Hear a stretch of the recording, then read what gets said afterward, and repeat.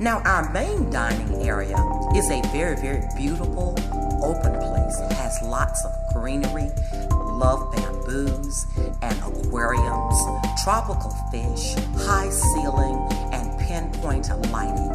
It's a wonderful area to sit in. Like I said before, there's not a bad seat in the house in this restaurant because you have flat screen monitors everywhere.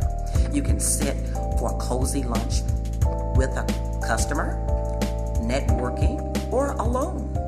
And it's right in front of the buffet or the food area. This is beautiful and very, very open. You will love it.